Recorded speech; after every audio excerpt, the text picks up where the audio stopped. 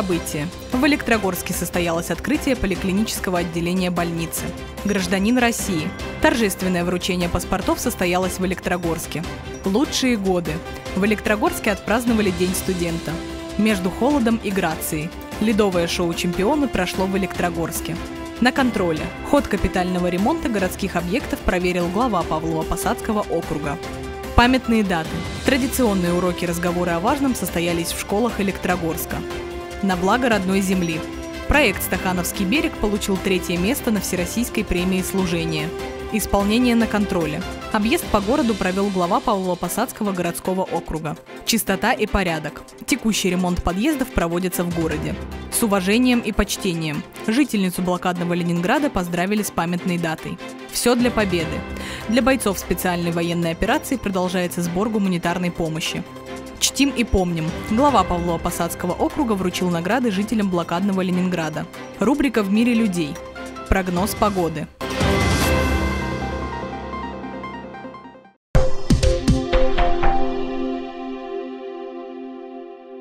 Городская больница начала свое существование в 1914 году. Именно тогда появилось первое лечебное отделение. Со временем стали отстраиваться хирургическое, инфекционное, родильное отделение. Взрослое поликлиническое отделение было построено в 60-х годах. Последний ремонт проводился еще в 2008 году. При поддержке губернатора Московской области этот объект был включен в государственную программу здравоохранения Подмосковья на 2023 год. В мае стартовал капитальный ремонт здания. Его проводила компания ООО «Стройстк». За это время подрядной организацией была проведена колоссальная работа. Отремонтировали фасад, кровлю, систему отопления, электроснабжения и вентиляции. Были перепланированы помещения и кабинеты врачей. Кроме того, в отделении установили системы пожарной безопасности и видеонаблюдения. В течение всего капитального ремонта со стороны главы Павлово-Посадского городского округа Дениса Семенова и представителей администрации проходили регулярные выездные проверки с целью контроля за ходом и качеством работ. 25 января состоялось торжественное открытие поликлинического отделения. В нем принял участие глава Павлово-Посадского городского округа Денис Семенов, представители администрации, медицинского учреждения, подрядной организации и электрогорские жители. Денис Олегович поздравил присутствующих с этим знаменательным событием и выразил признательность всем, кто принимал в этом непосредственное участие. Уважаемые присутствующие, а, сегодня такой действительно радостный день. На территории нашего больничного городка мы открываем после капитального ремонта а, нашу взрослую поликлинику, выполненную по программе губернатора а, для меня на самом деле большая честь, что за последнее время мы на территории нашего объекта здравоохранения открываем уже не первый объект после капитального ремонта. Изначально это была детская поликлиника, которая сегодня работает и функционирует. Потом это было отделение диагностического центра, которое сегодня тоже работает, функционирует. Вот. И сегодня у нас появилась такая замечательная, красивая, уютная а, взрослая поликлиника. А, я сегодня посмотрел по справке, у нас более 200 человек смену посещает. Это достаточно большая нагрузка на наших врачей, которые здесь присутствуют. И наша цель, конечно же, это в первую очередь создать э, максимально комфортные, благоприятные условия для наших пациентов и, конечно же, для наших врачей, медицинского персонала, который здесь работает, функционирует. Поликлиника действительно была старая, начало 60-х годов постройки. А, в 2008 году капитальный ремонт был, но не в полном формате и, конечно, не, не было таких брендбуков. Вот. А сегодня все соответствует, э, все радует глаз, все понятно, доступно. Надеюсь, уверен, что э, это здание и эти условия, они прослужат э, много в пользу нашему Павлово-Посадскому городскому округу. Медицинский персонал первым оценил высокий стандарт поликлиники, комфортные условия, приятную атмосферу и грамотную планировку помещений. Мы выражаем вот прям вот такую благодарность Министерству здравоохранения вам, Денис Олегович, за то, что вот у нас такое обалденное здание. Теперь у нас есть все-все условия для того, чтобы мы работали на отлично. Денис Олегович побывал в медицинских кабинетах, осмотрел, как обустроены места для ожиданий, пообщался с жителями и сотрудниками. Благодаря государственной программе городскую поликлинику сейчас не узнать. Нетронутыми остались только несущие стены. Все остальное новое, от коммуникации до мебели. Сегодня знаменательный день для всего нашего городского округа. Сегодня день открытия взрослой поликлиники. Произошел долгожданный ремонт при поддержке Э, губернатора Московской области, благодаря его программе здравоохранения Подмосковья, благодаря активному участию здравоохранения Московской области, а также непосредственно участие в ходе своих всех работ и э, дальнейшего контроля и момента открытия, это, конечно, э, благодаря нашему главе Денису Олеговичу Семенову. В здании комфортные входные группы, просторные холлы и залы ожидания, удобная маршрутизация пациентов, отдельные блоки для инфекционных больных и для людей, проходящих диспансеризацию. К тому же учреждение полностью приспособлено для посещения маломобильными группами населения. То есть у нас есть отдельный блок, где принимают паци пациентов терапевта участкового, отдельный блок, где принимают узкие специалисты. А, первые этажи у нас все оборудованы э, специальными дверями а, широкого формата для того, чтобы могли проехать люди с э, ограниченными способностями по здоровью то и э, на первом этаже располагается максимальное количество э, необходимых специалистов э, для того, чтобы люди, не, ну, кто не может, например, по тому или иному состоянию здоровья подняться на второй этаж, получить необходимую помощь на первом этаже. То есть это не отложенная медицинская помощь, это и хирургия, это, как я уже говорил, инфекционные а, пациенты, это и офтальмолог, это и и врач-гериатр, и онколог, и доврачебная медицинская помощь, и выписка льготных препаратов. То есть максимально все, что есть сейчас в арсенале первичного здравоохранения, мы как бы здесь могли реализовать. В поликлинике появился удобный конференц-зал, где можно проводить видеосовещания, а также присутствует удобная визуальная настенная навигация. То есть все, что необходимо для пациента, чтобы он комфортно э, находился, чтобы его минимализировать проблему, э, значит, мы все здесь благодаря этому капитальному ремонту сделали. Поэтому э, с сегодняшнего дня мы всех ждем в нашей новой отремонтированной поликлинике. Персонал очень доволен, улыбки, блестят глаза. Это, конечно, ну, сразу видно. Вот. Э, и, конечно, еще раз хочется поблагодарить Дениса Олеговича Семенова. Благодаря его э, волевым решениям, э, значит, это вот проект Э, оказался вот таким удачным и, самое главное, он реализовался. Поэтому всем еще раз большое спасибо. Ждем в гости во взрослой поликлинике. Строители все работы в поликлинике выполнили с хорошим качеством, создавая максимально комфортные условия не только для пациентов, но и для персонала. Несравнимо то, что было до и то, что сделали сейчас как до этого говорила Владислава Владимировна, то, что сделали конфетку, вот, я думаю, то, что нашим жителям, нашим пациентам все очень понравится а, и внешне, и внутренне, и, в общем, все понравится. А скажется ли это как-то на работе? Ну, конечно, конечно, у нас условия улучшились, а, оборудование улучшилось. Я думаю, что да. Жители довольны переменами и выражают благодарность за проделанную работу и создание комфортных условий. С лица жителей хотелось выразить огромную, огромную благодарность губернатору нашей Московской области Воробьеву Андрею Юрьевичу и главе Павлово-Посадского городского округа Денису Олеговичу Семенову за то, что в нашем небольшом городе отремонтировано здание взрослой поликлиники. Здесь действительно очень приятно находиться. Здание современное, здание стало комфортным. Очень удобная навигация, легко ориентироваться, приветливый персонал. А, и мы все надеемся, что действительно действительно любой пациент, который обратится сюда за помощью, ее получит.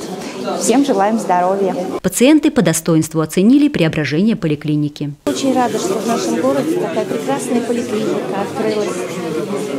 Здесь очень красиво, все очень достойно. Мы думаем, что жители будут с удовольствием приходить, им будет оказана квалифицированная медицинская помощь. В общем, спасибо всем большое. Двери поликлинического отделения открыты для жителей, а медицинский персонал учреждения обеспечит горожан качественным лечением.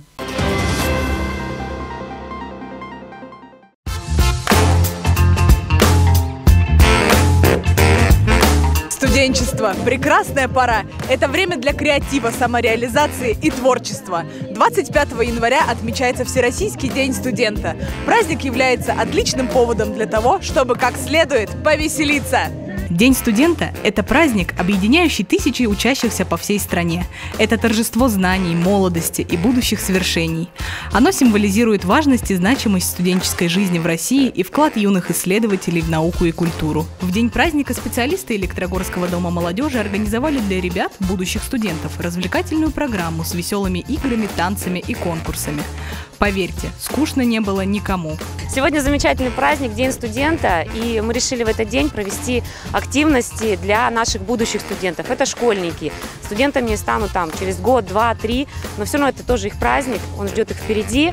Мы поиграли, повеселились, а, дети разогрелись. Ну, но кто-то немножко замерз, поэтому сейчас они пьют чай. Мы надеемся, что этот праздник а, для всех значим. Все мы были когда-то студентами или будем. Я всех от души поздравляю. Желаю всего самого наилучшего. Тем, кто учится, удачи в сдаче предстоящих сессий. Всего хорошего. Несмотря на холодную погоду, участников согревала теплая атмосфера. Вообще супер праздник. Готовимся. А ты готовишься стать студентом или уже студент? Конечно, готовлюсь стать студентом. А на кого ты хочешь поступать? Думаю, IT-сфера. А почему выбрал именно ее? Не знаю, сейчас по настроению. И что ты хочешь пожелать всем студентам в этот прекрасный праздник? Чтобы они учились хорошо, чтобы не переживали во время ОГЭ и ЕГЭ. Нынешние школьники уже почти готовы стать студентами, ведь они определились с будущей профессией. Как настроение сейчас, девчонки? Супер! А почему вы пришли на этот праздник? Вы студентки или еще нет? Нет, все. Нет, еще мы школьницы. А на кого хотите поступать? Повар, юрист и ветеринар. А что вы хотите пожелать всем студентам в этот прекрасный день? Хорошие оценки, чтобы получили нормальный аттестат и на нормальную работу поступили. Да, чтобы... Не знаю, да, что пожелать. Ну, как бы, чтобы они э, осуществили свою мечту, на которую они хотят пойти. Ну, всего лучшего там, так сказать. Студент – это прежде всего ответственный человек. У вас эмоции от сегодняшнего праздника? Потрясающие, поднимают настроение, согревают, в прямом смысле. Тут же чай вон. Очень весело было, развлекательно. А во что вы играли? А, мы пытались подобрать мячик, то есть нам надо было удерживать еще друг друга, и была задача не упасть, это же поддержка главная. Потом за кеглями бегали, потом просто танцевали в кругу. В общем, было весело, мы приятно провели время.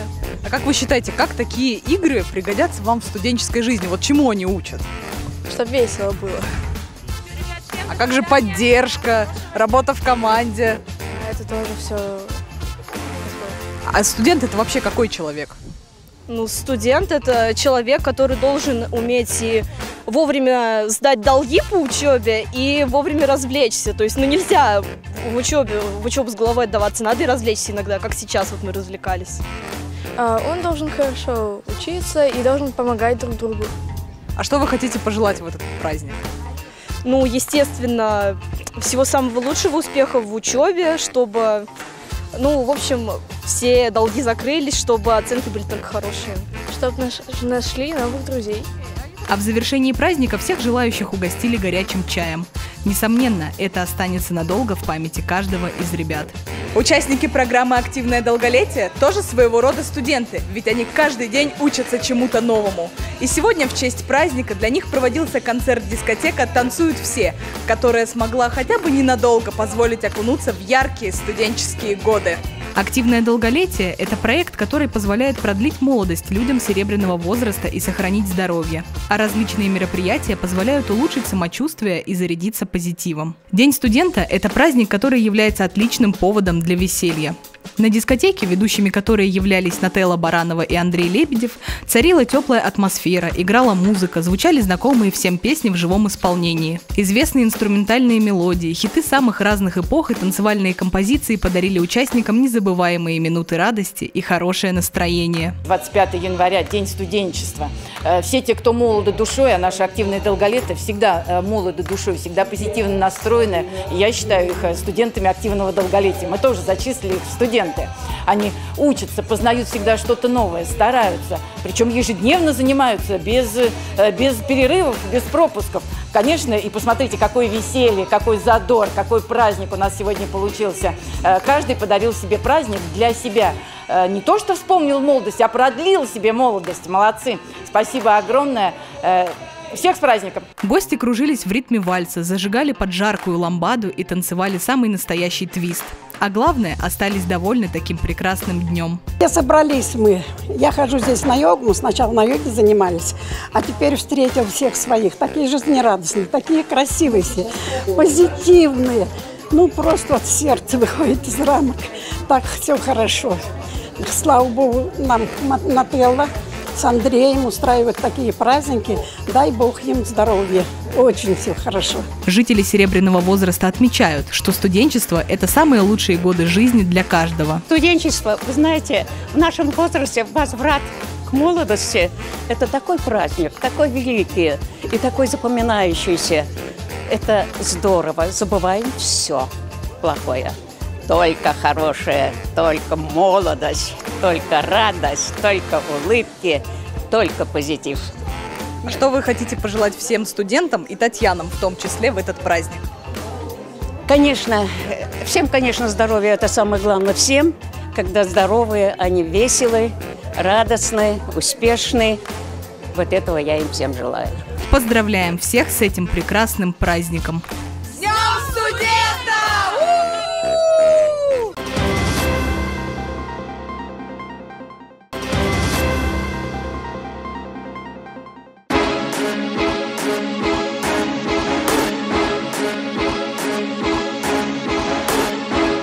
Фигурное катание – это удивительный грациозный вид спорта. И вот, благодаря реализации губернаторской программы «Зима Подмосковья» любой желающий смог посмотреть на выступления именитых фигуристов. А сегодня в Электрогорск приехала команда Илья Вербуха со своей шоу-программой «Чемпионы».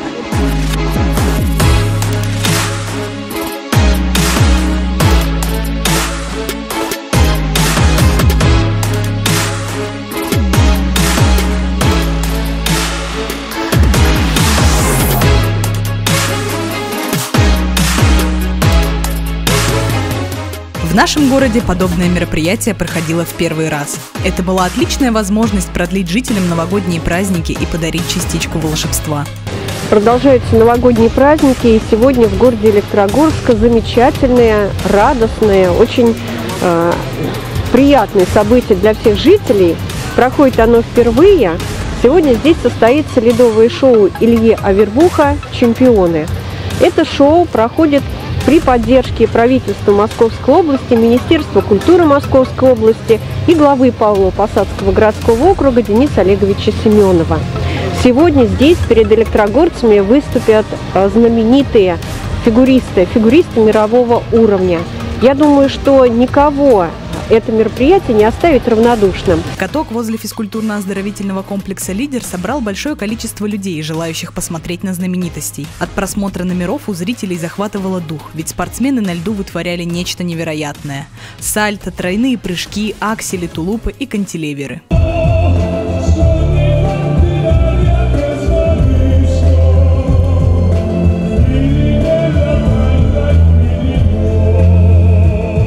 На лед вышли чемпионы и признанные звезды фигурного катания. Среди них Алексей Ягудин, заслуженный мастер спорта России, олимпийский чемпион и четырехкратный чемпион мира. Он исполнил свою легендарную программу под названием «Зима», хореографом которой является Николай Морозов. А знаменитая дорожка шагов на льду заставила аплодировать каждого зрителя.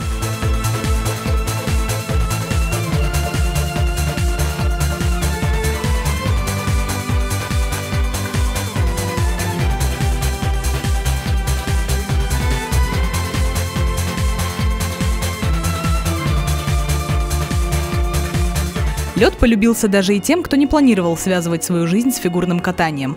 Среди таких людей Валерия Ланская, известная актриса театра и кино. Благодаря шоу «Ледниковый период» ей так приглянулся данный вид спорта, и страсть к нему не утихает до сих пор. Парный номер Валерии и олимпийского чемпиона Максима Маринина тронул публику до глубины души.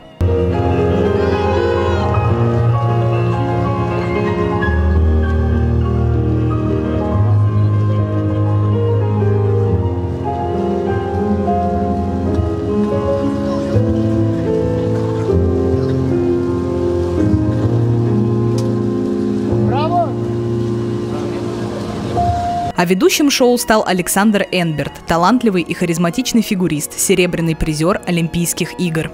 Так, а тут? Я фигурист. Вот, пожалуйста, здесь одиночники. Заслуженные мастера спорта, участники соревнований международного класса, талантливые и обаятельные фигуристы собрались в одну команду, чтобы подарить сказку жителям подмосковных городов.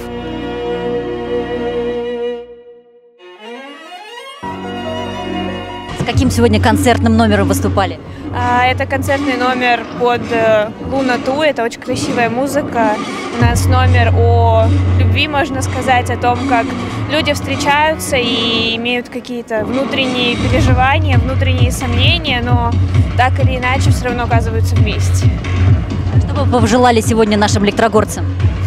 Мы желаем любви, наверное. Это чувство, которое позволяет э, преодолевать препятствия, которое помогает и даже в самые темные времена. И так как прошел Новый год, хочется, чтобы в новом году у всех было как можно больше любви, которая будет согревать своим теплом, которая будет э, дарить много позитивных эмоций.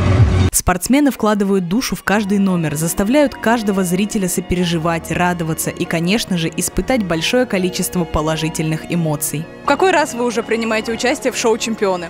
Первый раз. Да. А как вообще атмосфера, как отклик от публики? Очень теплая публика. Публика классная, да, очень тепло принимают.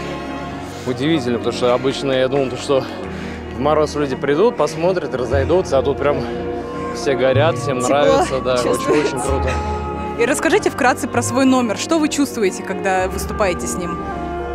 Да ничего, мы хотим, ну, новогодняя музыка, да, сейчас Новый год был, праздники, просто подарить э, положительный, позитивный номер, такой с частичкой любви, тепла для людей, то есть просто позитив и тепло. Большое впечатление на публику произвела программа Дмитрия Гуляева, ведь он в ней совмещает не только элементы фигурного катания, но и акробатические трюки. Расскажите немного про свой номер. Я думаю, зрители заметили, что он необычный, потому что в нем присутствуют акробатические элементы. Ну, я считаю, что ничего такого необычного, потому что сейчас уже многие делают сальто, и помимо этого я еще и воздушный акробат. Но, к сожалению, здесь невозможно такое показать. А страшно ли? Нет, уже не страшно. Это ничем не, не отличается от обычного прыжка. В заключение, какие теплые слова вы бы хотели сказать жителям Электрогорска? Э, Очень приятная публика, прям подбадривает. Огромное спасибо, что позвали. Очень приятно было здесь работать. Хочется отметить хорошую организацию мероприятия, оборудованный фудкорт для тех, кто проголодался, разнообразные развлечения. Также на протяжении шоу дежурили специальные службы, которые следили за общественным порядком. Жители города остались под большим впечатлением от такого красивого праздника. И все это благодаря реализации губернаторской программы «Зима в Подмосковье». Большое удовольствие а, от просмотра такого шоу. Конечно, мы хотим поблагодарить губернатора, когда бы мы все-таки могли действительно вот так вот выйти из дома на а, ну, вечером и а, очень а, увидеть много спортсменов, наших кумиров. Вот все-таки мы уже в таком возрасте, поэтому да. И а, Максим Шабалин, а, олимпийский чемпион, и Алексей Ягудин. Конечно, его великолепное выступление, его программа, с ко- с которой он получил олимпийскую медаль «Зима», произвела колоссальное впечатление вот посмотреть вживую.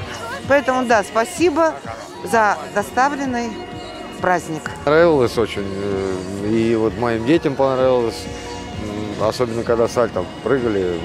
Вообще великолепно. То есть на вас большее впечатление произвели акробатические элементы? Практически, да, очень было ну, симпатично. И А как вам само присутствие Алексея Ягудина здесь? Ощущается ли э, важность этого Я события? скажу, что если бы они почаще приезжали в этот город, было бы намного приятнее, потому что мало таких представлений, и город был бы повес- повеселее. То есть э, сами видите, сколько народу э, приходит на такие представления, поэтому будем ждать еще такие представления. Пускай приезжают, мы будем всегда рады им. Такие мероприятия являются ориентиром для подрастающего поколения заниматься спортом. Ребятам очень ценно видеть знаменитостей вживую. прикольно, особенно дядя Артем, он там зажигал. И тот, Ага. который сальто сделал. Вообще там кричали, вообще очень прикольно. Есть вам больше всего сальто понравилось, да? И сальто, и дядя Артем. А кто такой дядя Артем? Это который выступал там. Он такой кудрявый. Да? Мы были очень э, поражены, как они выполняют сальто и все остальные акробатические элементы. Потому что мне понравилось, мне понравился Артем, который выступал один. А Скажите, пожалуйста, любите ли вы фигурное катание? Да, мы ходим э, периодически на каток и катаемся. А вообще смотрите фигурное катание по телевизору? Может быть, у вас есть какие-то любимые фигуристы? Да, иногда смотрим. э, любимых фи- фигуристов нет, нам все нравится. А, на ваш взгляд, нужны ли такие мероприятия для нашего города? Да, очень нужны. Людям настолько полюбились шоу фигурного катания, что они приезжают посмотреть на них из других городов. Очень Да, очень понравилось. Мы были вчера в Павловском посаде, сегодня приехали сюда, в Электрогорск, чтобы посмотреть именно шоу «Чемпионы», которое от Илья Вербуха. А какой номер больше всего запомнился? Это, это сложно сказать. Они все хорошие. А может быть, кто-то из фигуристов? Ну, наверное, Алексей Ягудин.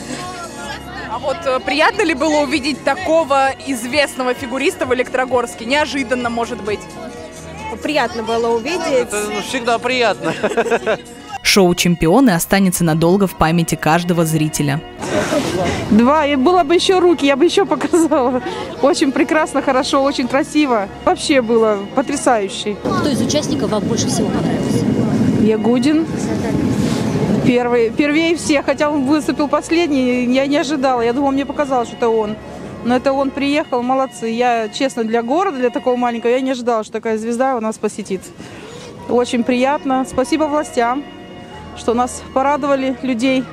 Хоть какой-то праздник для души сделали. Получила огромное удовольствие. Замечательный праздник устроили в нашем городе. А, С нетерпением ждала с конца декабря месяца, когда погода подвела. А, Поэтому очень рада, что приехала, что такой замечательный праздник, столько музыки, столько а, доброго отношения у людей, так хорошо, здорово принимали спортсменов. Спортсмены молодцы! Я в восторге от этого выступления, что такую программу сделали замечательно. Еще хотим! Горожане покидали шоу счастливые и с улыбками на лице. Такие мероприятия по-настоящему греют душу, поднимают настроение и создают теплую и душевную атмосферу.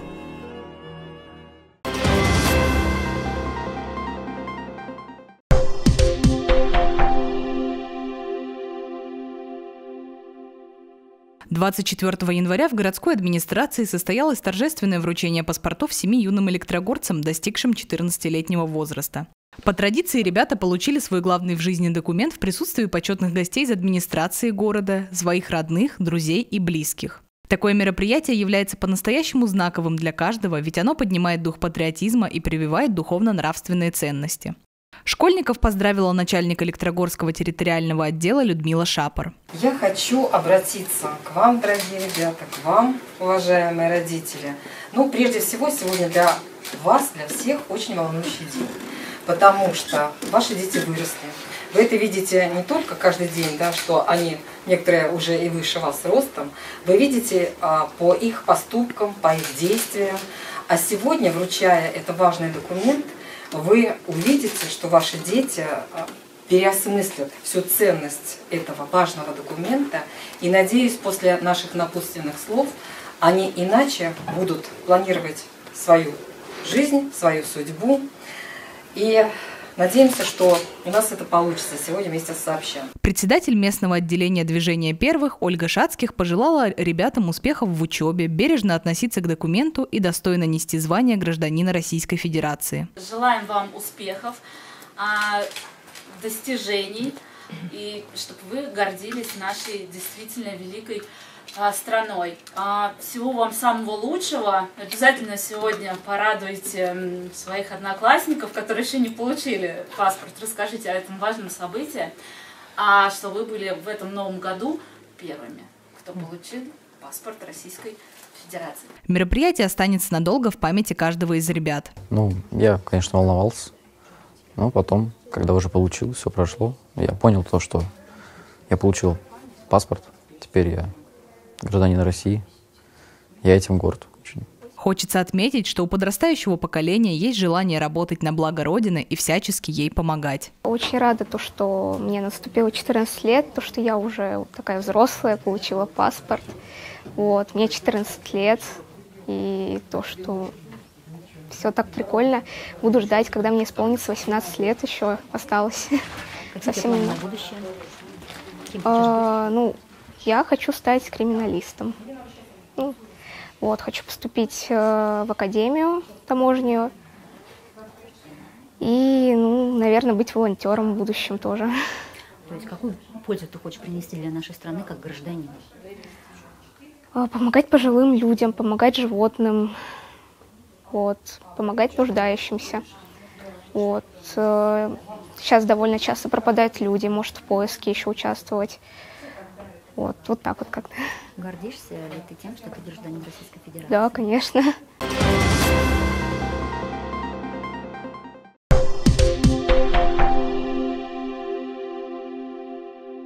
27 января в стране отмечается День полного освобождения Ленинграда от фашистской блокады. Битва за город на Неве вошла в историю как одно из самых длительных и кровопролитных сражений Великой Отечественной войны.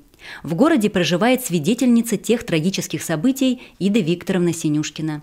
В преддверии памятного дня глава Павлово-Посадского городского округа Денис Семенов посетил жительницу блокадного Ленинграда и поздравил ее с этой знаменательной датой. В этом году у нас отмечается 80 лет со дня снятия блокады Ленинграда. И вы как участник тех трагических событий, вот, мы э, провели в Павловском посаде большую встречу с э, детьми, с подрастающим поколением.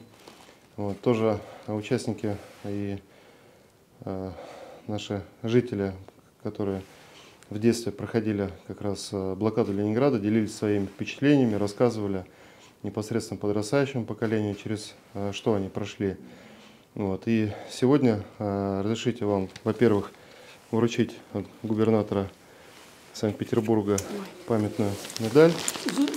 И... За России, потому что я это принимала присягу. Так что я имею право так сказать. Вам знак внимания еще. Спасибо. И Спасибо. тут, да, подарок тут. Иде Викторовне вручили цветы и памятные подарки. Особой наградой стала медаль в честь 80-летия полного освобождения Ленинграда от блокады фашистскими войсками. Денис Олегович пожелал Иде Викторовне здоровья, благополучия, поблагодарил за сохранение исторической памяти о героическом прошлом нашего народа и за вклад в патриотическое воспитание электрогорцев. Главное, хочется в первую очередь вам пожелать всегда хорошего настроения, крепкого здоровья. Это у меня есть. Вот. Кроме здоровья, конечно. Ну вот, чтобы оно, по крайней мере, было, или, по крайней мере, хотя бы не беспокоило. Ну, вот. И чтобы родные, близкие всегда, всегда были рядом с вами, да, оберегали теплотой, заботой и вниманием. Блокада Ленинграда – одно из самых трагических страниц Великой Отечественной войны. По масштабам гибели и страданий населения она стала событием, беспрецедентным в мировой истории. Вместе с тем ленинградцы продемонстрировали невиданную силу духа и стойкость, которые помогли преодолеть им все испытания на протяжении 872 дней. Вся страна помнит об их подвиге и гордится их мужеством.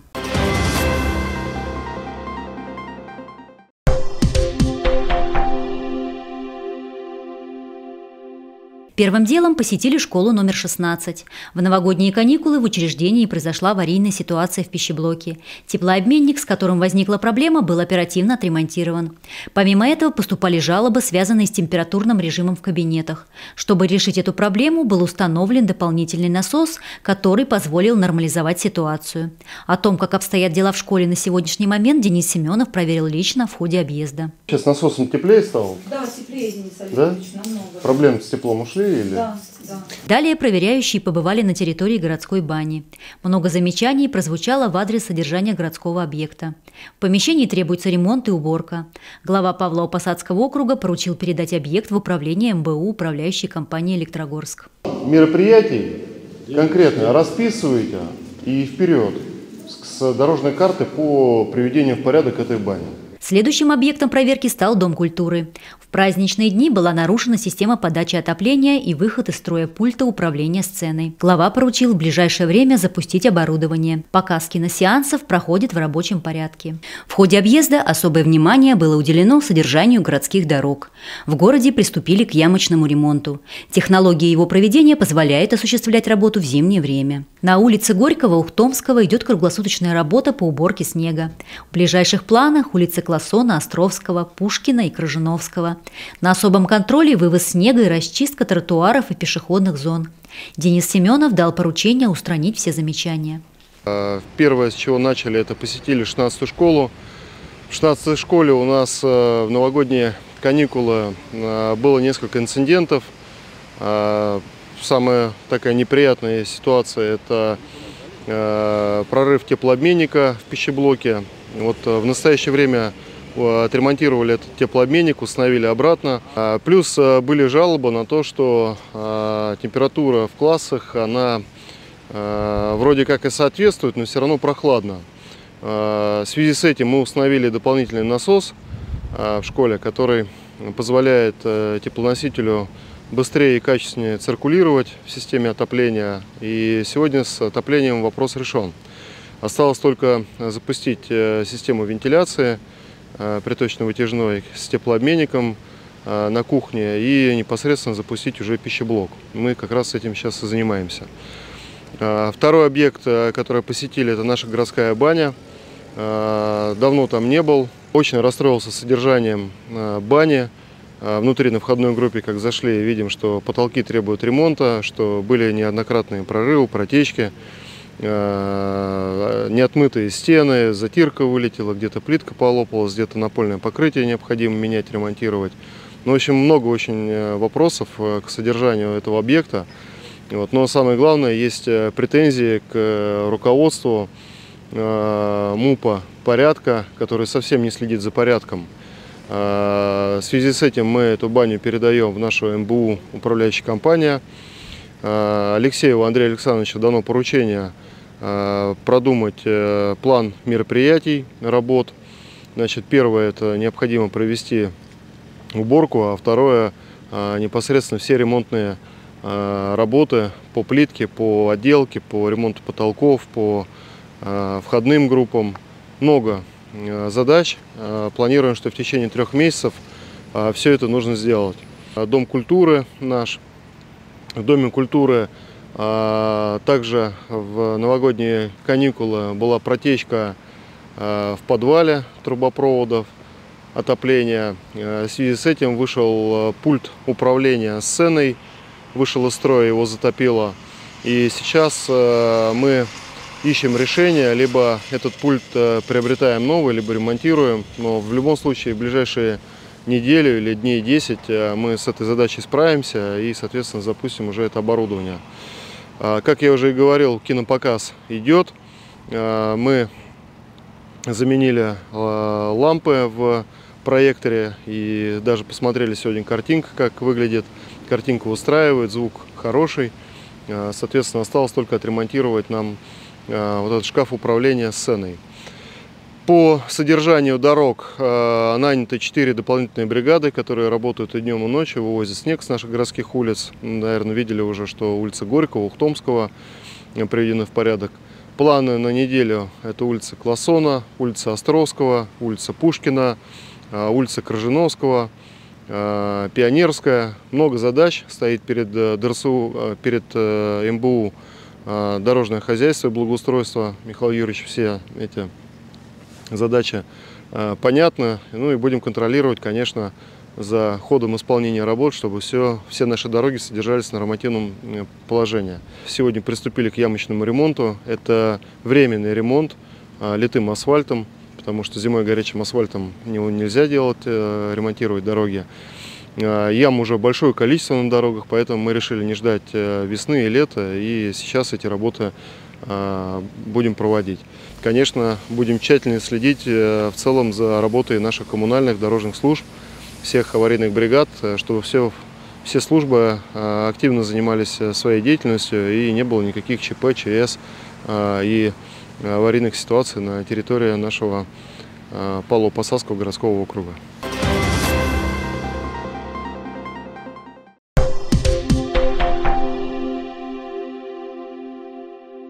Состояние подъезда – один из показателей многоквартирного дома и гарантия комфортного проживания. Его ремонт входит в перечень обязательных работ по содержанию общего имущества. Периодичность проведения ремонта – один раз в пять лет. Подъезды выбирает Государственная жилищная инспекция. Список определяется, исходя из их состояния. Текущий ремонт подъезда производится один раз э, через пять лет. Э, подъезды выбираются государственной жилинспекцией э, по, со своему, по своему состоянию. Соответственно, самые плохие подъезды, э, самые разрушенные, идут в ремонт в первую очередь. Поэтому те подъезды, которые в хорошем состоянии, они могут ремонтироваться реже. В 2023 году управляющей компанией было отремонтировано 58 подъездов. В ближайшее время будет составлен график на 2024 год. На сегодняшний день работы ведутся в четырех подъездах. Это Горького 1 девятиэтажка, 1А девятиэтажка, а, Советская 36А и Ленина 18.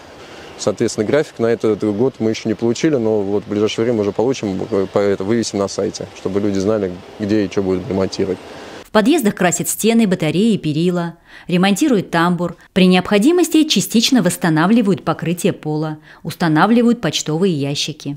А в рамках текущего ремонта штукатурится, ремонтируется штукатурка не более 20%, как написано в техническом, техническом задании. Соответственно, окрашиваются стены, большой вопрос, большой запрос от населения замена окон пластиковых, она не производится в рамках текущего ремонта, она производится только в рамках капитального ремонта. Управляющая компания информирует жителей о предстоящем ремонте. Также с собственниками многоквартирных домов обсуждается ход работы и учитываются их пожелания. Да, когда бригада выходит э, на ремонт подъезда, обсуждаем с жителями, э, возможно, цвет стен. Ну, как обычно, верх светлый, низ темный. Мы просим жителей убрать все коврики и все, что возможно. Двери, соответственно, закрываются пленкой. И уборка производится по мере это, штука... А, ремонтирования штукатурки. В основном грязь идет от штукатурки, а краски уже меньше грязи. В среднем ремонт подъезда пятиэтажного дома длится около трех недель. В дальнейшем его состояние и поддержание чистоты контролируется не только управляющей компанией, но и жителями.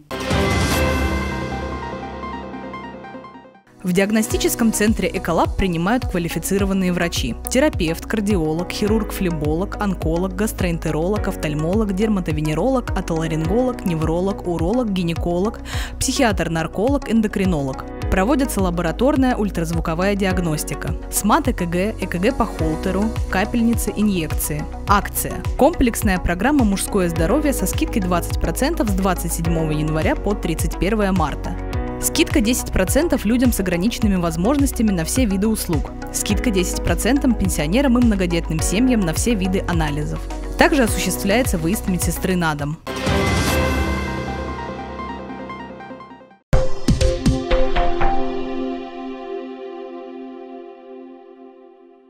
Самого начала специальной военной операции и по сегодняшний день спортивный клуб «Стимул» оказывает неоценимую помощь ребятам на фронте. И сбор гуманитарной помощи продолжается. Большую поддержку в этом оказывают жители, принося нашим солдатам все, что необходимо на передовой. Сейчас мы помощь собираем опять для нескольких подразделений. У нас такого нет, что мы сегодня одним, завтра другим. Даже запросы разные. Иногда нам ребята даже сами немножко денежек присылают. Вот купите нам именно вот на эти деньги сапоги. Хорошо там другие что-то попросили, тут, допустим, вот одни, нам, говорит, на Урал камеры нужны. Мы сбор только объявили, а наш клиент приходит, говорит, не надо, говорит, ребята, это на что-то другое потратите, я сам куплю. Вот Василий Кажаев, у него как раз автозапчасти, у него магазин. И он где-то нашел, заказал, там все, вот он нам притащил их тяжеленные, вот, огромные, самый, по-моему, большой радиус был, да? Ну, один, да. Вот, потому что Ребят там, э, мы уже не первый раз туда и резину отправляем. Нам регулярно помогает э, семья Алексеевых, Вадим в частности. Э, до этого тоже он покрышки для машин покупал сам. Мы только вот отправляли туда. Потому что где-то на лепесток наехали, где-то вообще на мину наехали. Допустим, если КАМАЗ наезжает на мину, вот у нас, допустим, родственник ехал в отпуск, просто разворачивает там вместе с мостом. Слава богу, ребята остаются живые. Поэтому вот такие вот вещи, они нужны всегда. Сейчас зимой антифризы, масла в генераторы, в машины. Вообще очень много чего требуется. Требуются также и вещи для зимнего сезона. Так как сейчас там уже снег, уже морозы устаканились, Вот, опять же, держу носочки, только сейчас увидела, принесли вчера женщина писала, принимаете вот такие вот самовязанные? Конечно, принимаем. Холодно, на подмену всегда ребятам надо. В сотый раз объясняю, почему нужна теплая одежда, и она нужна всегда. Те же бушлаты, все. И не по одному комплекту. Да, Минобороны снабжает, есть у них все, и обувь, все одевают. Но, вы представляете, вы пошли куда-то на боевое задание, а вы разведчик, вам где-то вообще по-пластунски надо пролезть, а где-то вы там артиллерист, зацепились, в мазуте испачкали, машина сломалась, промокли, промерзли, она нужна подмена Даже всегда. простое, в- снегу походил по колено, все, сырой. Конечно. Носки нужно сырые, это носки нужны уже новые, чистые, по крайней мере, сухие. Где-то постираться, для чего мы даже мы отправляем порошки, пасту специальную, которая прям мазут хорошо отъедает. Совсем недавно к Анастасии обратился за помощью один из бойцов, и слова, сказанные им, тронули до глубины души. Недавно трогательная очень история была. Сейчас до сих пор пока еще неизвестно, чем закончится. Из-под Солидара выходит на меня штурмовик-разведчик. И вот он голосовой мне присылает, видно, идет по снегу, снег хрустит, холодно.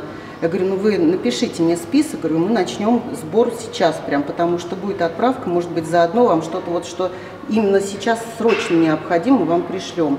Ой, от него сообщение пришло, от которого мурашки у меня до сих пор. Причем это было начало первого ночи. Он говорит, «Э, я, говорит, сейчас иду на боевое задание с ребятами. Если я вернусь, останусь живым, то я вам список пришлю. И я лежу, и как заснуть просто. И вот больше суток он на связь не выходил. Слава богу, все пришли, даже раненых не было. Помогать важно на регулярной основе, ведь даже самый небольшой вклад очень ценен. Те, кто принимает участие в наших сборах, причем достаточно продолжительное время, в основном это э, люди, которые ну, ежемесячно оказывают помощь. Я вот знаю, допустим, Алина З. Я не знаю эту девушку, но от нее стабильно приходит хоть 300 рублей, но приходит каждый наш сбор. Вот спасибо огромное. На самом деле, хоть 10 рублей пришлете, каждый человек по 10 рублей, это получается всегда большая сумма. А потом, когда люди видят, что другие участвуют, думают, ну что ж, я хуже, что ли? Я здесь живу, мне тепло, сытно. Ну почему не поучаствовать? Ребята все-таки там стоят за нашу безопасность. Участники Электрогорского объединения «Дети войны» вяжут носки для наших бойцов. В каждом наборе частичка тепла и любви от жителей старшего поколения. Тоже как пенсия, они у нас перчаточки, носочки, конфетки или денежку. И вы потратите, мы знаем, вы никуда не денете, мы им все тоже показываем. Они очень радуются, что они могут помочь. Помогать нашим защитникам можно любым образом. И призываем, конечно, всех, чтобы хоть чем-нибудь. Не думайте, что помощь э, бывает маленькая. Она либо есть, либо ее нет. У вас, может быть, старый свитер лежит, там какой-то от дедушки остался, да, но он в хорошем состоянии, моль не съела, постирали, принесите, мы примем. Там ребятам нужно. Вот, любая помощь, хоть копеечка, она нужна. Море состоит из капель. Многие люди самостоятельно изготавливают продукцию для участников СВО. Так, например, Галина Бабрихина занимается производством блиндажных свечей и на регулярной основе отправляет их на фронт. Сделать свой вклад в победу может любой желающий. Нужно лишь принести все необходимое в спортивный клуб «Стимул», который находится по адресу улица Свердлова, 11.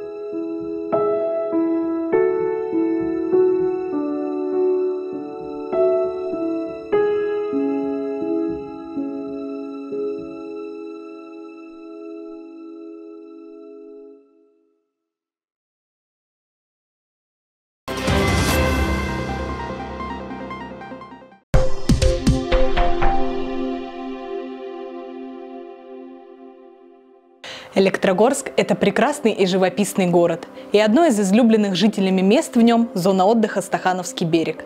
Проект создает локацию, которая рассказывает о формировании городской территории. И совсем недавно он стал лауреатом Всероссийской премии «Служение». Проект «Стахановский берег» создает благоустройство сегмента набережной Стахановского озера, тем самым улучшая связность берега с уже реализованными проектами. Стахановский берег – это недостающий пазл в системе благоустраиваемых общественных пространств города, общее и центральное место для городских жителей и дачников. Проект не перегружает территорию лишними объектами, создает инфраструктуру для занятий, которые привычны жителям в данной локации. Он также отличается своей уникальностью, что и стало ключевым моментом в решении подать заявку на Всероссийскую премию служения. Инициативу проявила начальник управления дорожного хозяйства, транспорта и связи администрации Павлова-Посадского городского округа Нина Владимировна Пастушенко и впоследствии стала лауреатом третьей степени. А, я считаю, что на территории нашего города это один из самых значимых проектов, учитывая то, что а, сама концепция благоустройства Стахановского озера – это победитель Всероссийского конкурса малых городов и исторических поселений. У меня не было ни минуты сомнения, когда я подбирала проект, который хотелось бы подать на вот эту премию, которая в первый раз вообще в истории современной России проводится по поручению президента нашей страны. А, поэтому сомнений не было. Я считаю, что это наверное, самый масштабный, самый современный и самый, наверное, востребованный проект на территории нашего города, который был реализован в последние годы. Всероссийская муниципальная премия проводится по поручению президента Российской Федерации Владимира Владимировича Путина и присваивается за особый вклад в развитие муниципальных образований и повышение качества жизни граждан. Итак, номинация инициатива каждого общий успех. Третье место. Проект «Стахановский берег» начальник управления дорожного хозяйства, транспорта и связи администрации Павлово-Посадского городского округа Московской области Пастушенко Нина Владимировна. Проект «Стахановский берег». Половина населения города приняла участие практически в создании проекта, благодаря чему увеличилась посещаемость этого общественного пространства – чтобы было интересно молодежи, проект поддержали городские сообщества. Была активизирована сфера малого и среднего предпринимательства. Коллеги, добрый день. А, всем большое спасибо за оценку работы этой. Хочу сказать большое спасибо президенту нашей страны Владимиру Владимировичу Путину и губернатору Московской области Андрею Юрьевичу Воробьеву за поддержку и возможность нам на местах реализовывать подобные проекты первую очередь, конечно же, для людей, для наших жителей. Спасибо большое. Сама премия служения проходила в три этапа. То есть первым этапом а, мы подавали сами заявки, где очень кратко нужно было описать свой проект в текстовой форме, что было на самом деле очень сложно, потому что хотелось максимально а, информацию до а, экспертного совета донести. А, по итогам первого этапа а, экспертный совет отобрал 100 а, номинантов премии в 10 номинациях, то есть в каждой номинации по 10 а, проектов. На втором этапе мы готовили видеопрезентации проектов. Здесь мы уже, конечно, постарались э, и э, максимально осветили а, проект, это его открытие и все функциональные зоны проекта. А третьим этапом было всенародное голосование – Номинация, в которой этот проект был представлен, была самой популярной на премии. Со всей России было подано более трех с половиной тысяч заявок. И, соответственно, наш проект «Стахановский берег» занял а, почетное третье место. Считаю это большой победой для нашего города. Мероприятие действительно масштабное. На нем присутствовало большое количество человек. Сказать, что эмоции переполняли, это вообще ничего не сказать, потому что, конечно, уровень проведения премии просто какой-то запредельный. А в самой церемонии приняли участие более 10 тысяч человек. Это главы, а, заместители глав а, муниципальных образований со всей России. А, в церемонии награждения принял участие президент Российской Федерации Владимир Владимирович Путин, который вручал награды в специальной номинации этой премии. Разработкой проекта занимались свыше 7,5 тысяч человек. В работе над концепцией принимали участие команда администрации городского округа Электрогорск на тот момент, это 21-22 год. Разработку проекта осуществляло архитектурное бюро СОТа. В обсуждении концепции принимали участие жители города, а всего а, в обсуждении концепции приняло участие более 7,5 тысяч человек. Территория Стахановского озера будет развиваться и дальше. Хочу сказать, что в рамках проведения премии президент э, озвучил о том, что конкурс малых городов исторических поселений продлен до 2030 года, так что нам абсолютно есть над чем работать. И я думаю, что у нас будет возможность а, продолжить благоустройство этого знакового для города места. Проект «Стахановский берег» действительно важен для города. Учитывая то, что это настолько уникальное место, не каждый, далеко не каждый город Московской области может похвастаться да, наличием в центре города озера. И учитывая то, что в шаговой доступности от этого места проживает практически 16 тысяч человек, половина населения города, считаю это наверное, центральным таким а, местом, которое, безусловно, требовало благоустройства, что мы сделали, и обязательно продолжим его в будущем. Город и дальше будет процветать. В планах уже есть новые проекты по благоустройству. Я считаю, что на самом деле большая работа по благоустройству на территории города проводится. А, уже даже не знаю, какое место возможно предложить для благоустройства. Скорее, а, в старой части города, возможно, какой-то сквер в районе школы номер 14. Такое обсуждение такой концепции есть. Я хочу поблагодарить всю команду, которая работала над реализацией этого проекта. А, хочу поблагодарить архитектурное бюро СОТа, которые помогли нам а, которые, скажем так, от идеи вообще благоустройства территории предложили нам такую концепцию, которую мы, которую мы смогли грамотно реализовать. Хочу а, выразить благодарность подрядной организации, которая проводила работу, это ООО «Сплав». Вот. И особую благодарность хочу выразить всему коллективу а, телеканала ТВЛ, в том числе за подготовку и конкурсной заявки на премию эту, и вообще в освещении, в том числе всех работ по благоустройству, и, конечно, всех жителей нашего города, которые приняли участие в обсуждении проекта на всех этапах его реализации. Поздравляем с такой значимой для города победой и желаем дальнейшего процветания нашей земле.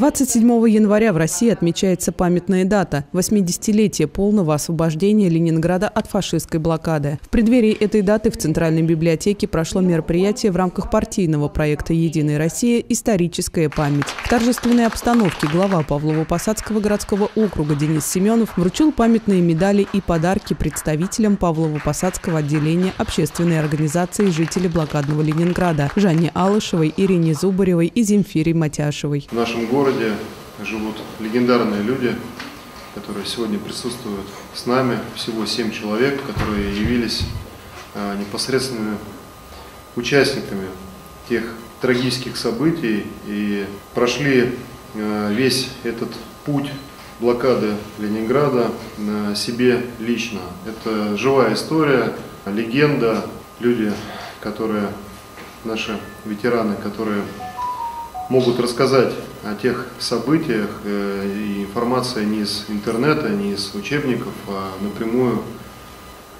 от наших ветеранов.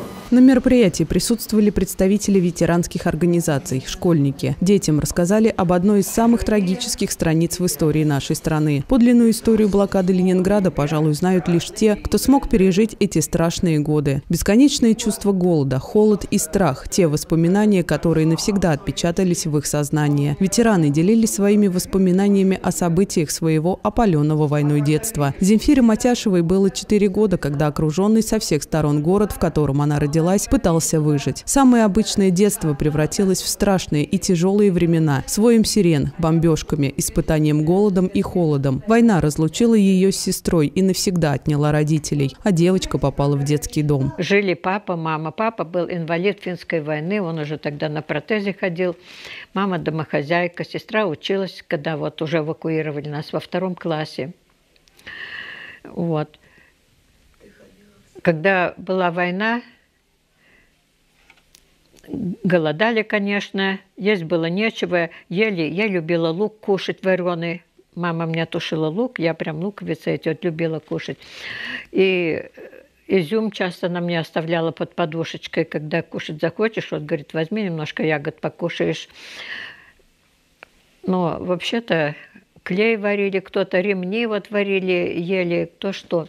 Мы дети блокады годов Ленинграда, мы дети Второй мировой войны, мы все испытали, все страхи блокады, на детство обрушилось столько беды. Мы помним сирены воздушной тревоги, по радио их объявлял Левитан, от страха дрожали и руки, и ноги, и сердце щемило, в глазах был туман.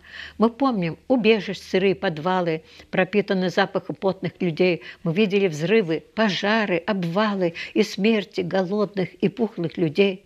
Мы все испытали. И холод, и голод, и боль расставания, и горечь разлук.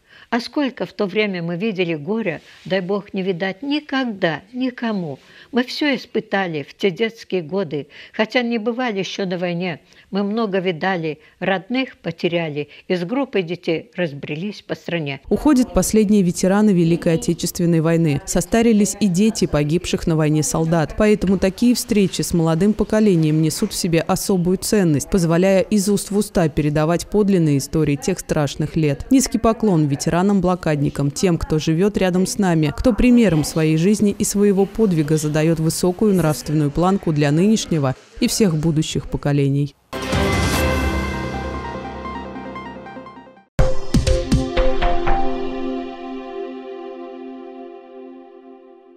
Освобождение Ленинграда от блокады – важная часть истории России. И помнить про страшные события Великой Отечественной войны обязательно для подрастающего поколения. Именно этой теме и были посвящены разговоры о важном в школах страны сегодня. Традиционно утро понедельника в Электрогорском лицее началось с торжественного выноса флагов и исполнения гимна Российской Федерации. Также на линейке были оглашены имена учащихся, которые наилучшим образом проявили себя за минувшую неделю. Затем ученики проследовали в классы, чтобы обсудить вместе с педагогами важную дату текущей недели. 80 лет со дня полного освобождения Ленинграда от фашистской блокады. Санкт-Петербургский городской суд признал блокаду Ленинграда в годы Великой Отечественной войны преступлением против человечности, геноцидом советского народа. Очень тяжелым было снабжение населения и войск продовольствием и водой. Начался голод. В первые месяцы блокады на улицах Ленинграда было установлено 1500 громкоговорителей. Радиосеть несла информацию для населения о налетах и воздушной тревоге. 7 января 1944 года в честь победы, в честь разгрома фашистских войск под Ленинградом над Невой прозвучали залпы торжественного салюта. С тех пор прошло много лет, но жители нашей страны очень хорошо помнят каждый из этих дней, так как каждый из них был битвой за собственную жизнь с голодом и холодом. С тех пор Ленинград – это символ свободы, равенства, независимости для всех людей мира. На уроке ребята узнали о подвиге непокоренных ленинградцев из видеоролика с почетным жителем города Санкт-Петербурга, жительницей блокадного Ленинграда, блокадным учителем Строгановой Надеждой Васильевной. Сегодня о важном говорит Надежда Васильевна Строганова, почетный гражданин и старейший учитель Санкт-Петербурга, житель блокадного Ленинграда.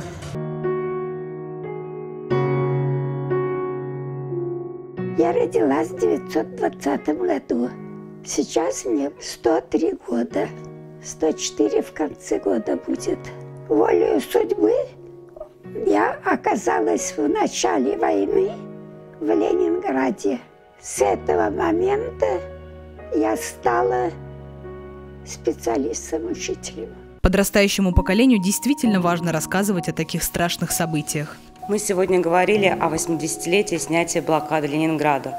Это тема, которая а, должна звучать, а, тема, о которой должны говорить не только взрослые, ученые, историки, но и дети. А почему подрастающему поколению важно помнить те страшные события? А, они учат стойкости, они учат быть добрыми, справедливыми. И, наверное, в наше время это тоже очень актуально. Помнить своих героев, помнить, как тяжело доставалась нам победа. Все ребята узнали для себя много нового о таком важном событии. На уроке о важном я узнала, насколько было тяжелое время во время Ленинграда, э, сколько пострадало людей и как им тяжело все давалось. Сегодня разговоры о важном были посвящены теме блокада Ленинграда. Э, достаточно серьезная тема сегодня была, так как блокада Ленинграда является одним из ключевых событий э, Великой Отечественной войны и э, достаточно страшным событием. А что ты нового для себя узнал? Для себя я узнал что школы не переставали работать, не, переставали работать во время блокады, и э, дети стремились к, к новым знаниям и постоянно шли в школу, э, несмотря на все трудности во время блокады. А насколько эта тема важна для тебя лично? Для меня эта тема очень важна, так как э, я считаю, что люди совершили огромный подвиг во время э, этих страшных событий.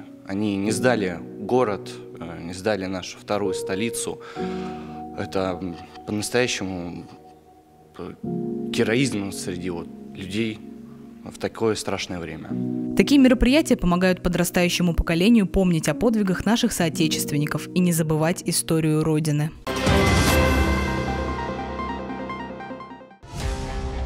Военнослужащие по контракту получают региональные меры поддержки, статус ветерана боевых действий, освобождение от земельного налога, компенсацию оплат услуг ЖКХ, путевки в санаторий, отпуск два раза в год и другие льготы от государства. Здесь все по-честному. Служи по контракту.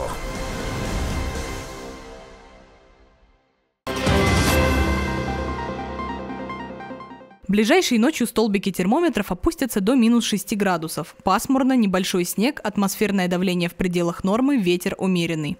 В субботу 27 января температура воздуха будет составлять минус 5 градусов днем и минус 6 ночью. Слабые геомагнитные возмущения. В воскресенье 28 января температура воздуха составит минус 4 градуса днем и минус 6 ночью. Пасмурно, небольшой снег, атмосферное давление в норме, слабый ветер.